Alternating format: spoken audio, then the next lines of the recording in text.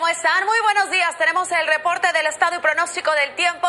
En este miércoles es mitad de semana y el panorama de nubosidad persiste, sigue dominando hacia partes del noreste del territorio nacional, en donde el ambiente frío además eh, juega un papel importante. Cabe destacar que esperamos que al menos durante las próximas jornadas, ya para jueves, viernes, vaya decreciendo la nubosidad hacia sectores del noreste, aunque llegue un frente frío mañana y nuevamente, pues las temperaturas se mantienen así frías, eh, sobre todo durante las mañanas, durante las noches y templado y fresco durante las tardes. Una vaguada sigue generando condiciones favorables para el desarrollo de chubascos aislados en partes del centro del país. No es muy alto el porcentaje de lluvia hacia Ciudad de México, pero se mantiene vigente. Hoy vamos a alcanzar 23 grados hacia Ciudad de México, medio nublado y algún chubasco ocasional. El jueves y el viernes, mayormente nublado, chubasco y tormenta, 50% los porcentajes de lluvia. Y para Monterrey, vemos que eh, comparamos con jornadas atrás, la temperatura ya sube un poquito más.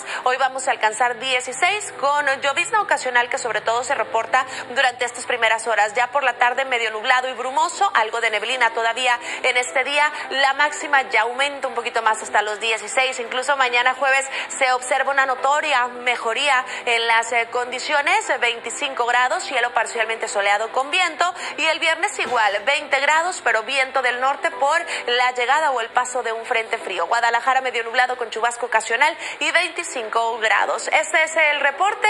Hay más información aquí en Milenio Televisión. Continúa con nosotros.